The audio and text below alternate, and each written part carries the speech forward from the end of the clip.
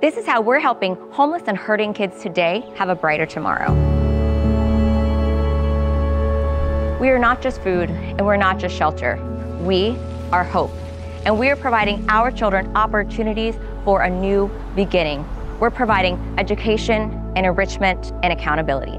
Gary, why is it so important that you partner with Place of Hope? The Place of Hope is something very, very special to me. You and all your committee members and team have done a phenomenal job. Now, these children, they've been abused to the ultimate, and now they come along through you and me and other donors.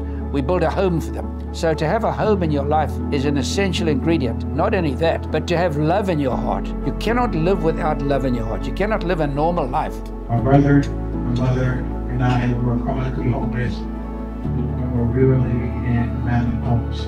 But it's a hope provided exactly what we needed stability, education, and You can help kids have a more hopeful future by clicking the link below and sharing with your friends.